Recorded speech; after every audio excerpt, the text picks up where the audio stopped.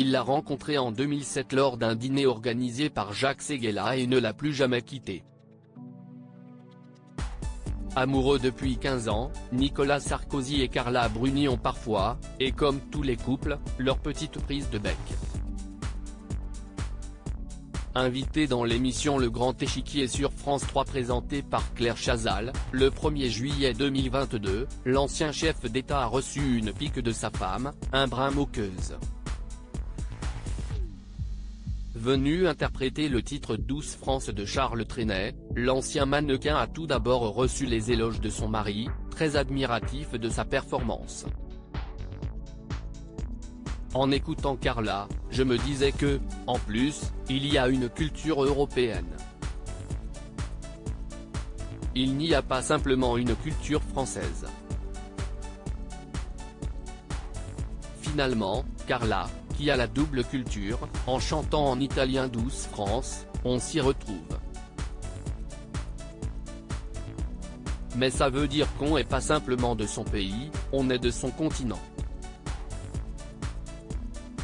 A-t-il confié Coquine, l'ancienne compagne de Jean-Paul et Raphaël Enthoven n'a pu s'empêcher de plaisanter sur la réputation pas très glorieuse des Français à l'international, et Jean Cocteau disait que les Italiens sont des Français de très bonne humeur. Est-ce que si est aimable ça? A alors répondu l'ancien président, sûrement un peu vexé par la remarque de son épouse. Je l'admire mais bien sûr, il en faut bien plus aux parents de Giulia, née en 2011, pour se disputer. Quelques instants plus tard d'ailleurs, Nicolas Sarkozy a rendu hommage à la grâce et à l'élégance de son épouse lors de leur premier voyage officiel à Londres. Carla était dans un carrosse tout noir tiré par huit chevaux noirs, avec le duc d'Édimbourg. Quand elle est descendue, j'avais mon cœur qui battait, d'abord de sentiment et ensuite de fierté. Avec son petit chapeau sur la tête, je me suis dit, on est dans Breakfast at Tiffany, et quand elle a fait la révérence, je l'aurais épousée une deuxième fois. Je l'admire, a-t-il révélé. De son côté, la chanteuse de 54 ans a également fait une belle déclaration d'amour à son époux au cours de l'émission en interprétant l'un de ses nouveaux titres Le garçon triste. Jamie ce garçon triste.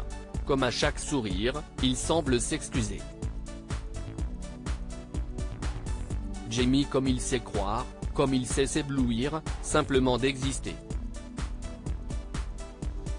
Point, comme tous les garçons tristes, il aime jouer au cador, jouer au roi du quartier, a-t-elle chanté. Des mots qui semblent décrire à merveille définir l'ancien président de la République qui a gouverné la France de 2007 à 2012.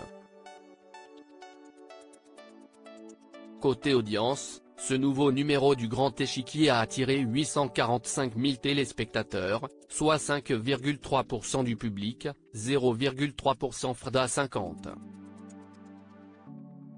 Le précédent numéro, programmé le vendredi 29 avril dernier, avait séduit 750 000 curieux, soit 4,0% du public et 0,5% des Frda 50 donc une jolie hausse pour l'émission de Claire Chazal.